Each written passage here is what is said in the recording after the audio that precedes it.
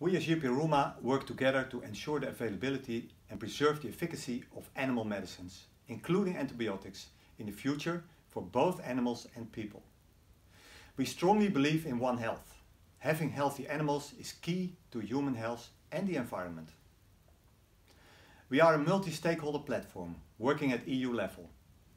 A key area for us is promoting the responsible use of antibiotics as part of the veterinarian's toolbox and fighting antimicrobial resistance.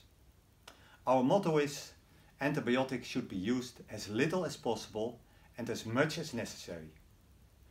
Our 10 member organizations work together to increase awareness and understanding of responsible use among all stakeholders, both in the EU and nationally, something we have been doing for the last 12 years.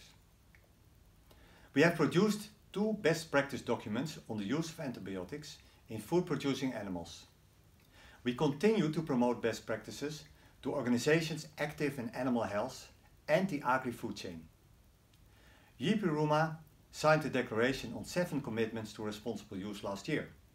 These include facilitating information exchange on best practices, developing best practice frameworks, and supporting transparency on use through surveillance and resistance monitoring. We will be communicating progress on these commitments to key EU stakeholders on the 5th of December. I invite you to visit our website for further information.